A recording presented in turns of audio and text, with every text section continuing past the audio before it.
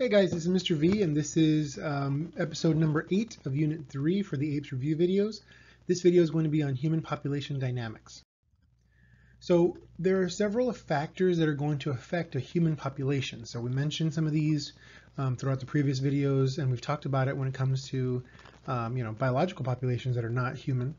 But um, in human populations, there's kind of special factors here. So obviously it's birth and death rates, just like any other uh, population.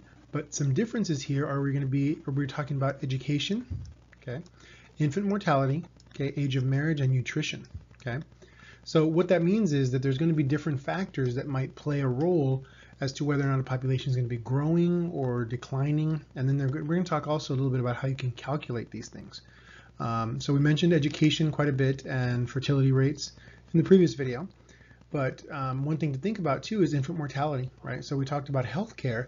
That might play a role in whether or not your population is going to grow. Because if you're um, not going to have a lot of ability for your populations to live through those first few years of life, then that population is not going to grow that much.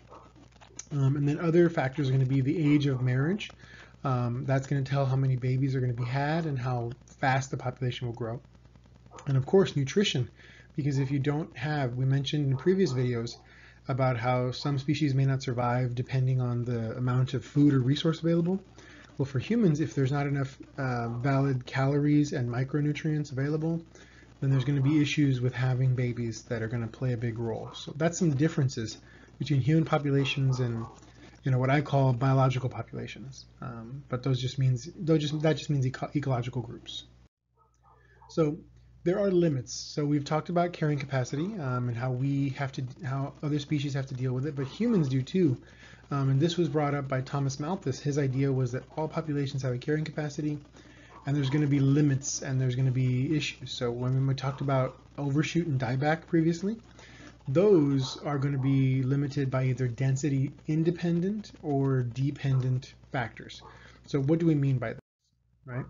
A density independent factor would be like a wildfire, okay? So some species can be limited by fire, um, by their habitat. Humans can be limited by our range too. So um, if there's too much fire or drought or heat wave or hurricanes, right?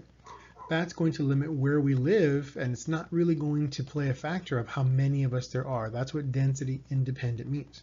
That there's not a number of individuals affecting these, these just happen. So these are kind of, think of these as forces of nature, right? Whereas density dependent factors are going to be more along the lines of disease transmission, territory size, availability of food, and access to clean air and water. So those things are going to be more pressured if there's more individuals, right? So if you've got a lot of people living in one area, these are going to be a big um, issue. So.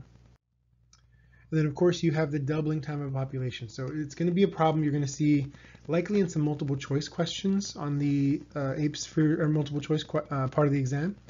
But um, there's going to be questions about doubling time. So they're going to ask you how long is it going to take for a population to double. And there's a calculation that we call the rule of 70, and it's basically 70 divided by the growth rate of a population. Now, one thing to remember, the calculation here, the R, needs to be in the number percentage. So if they give you a calculation of 2.3, you need to write 70 divided by 2.3, not turning it into a decimal and calling it 0.023. Okay, so that would be how you would change that, but that's not what we do here. We just use the number that's given. So you make sure you use that 2.3. So let's do an example here. Okay, so here our here's our example. So if a country has a population of 100 million um, and a growth rate of 2.25%, what's going to be the doubling time of this population? So recall the equation. This is something you do have to have memorized, by the way. So it's 70 divided by growth rate is equal to the doubling time.